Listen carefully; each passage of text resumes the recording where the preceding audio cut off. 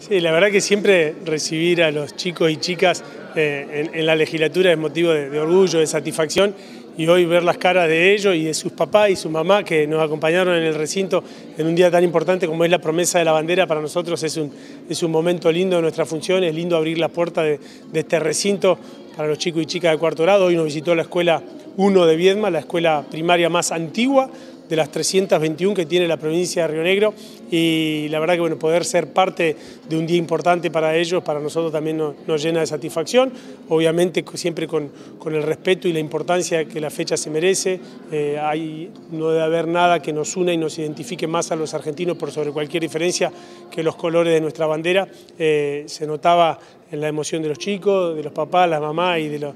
los, profesores, así que la verdad que fue un día de esos lindos que nos toca vivir en la función pública.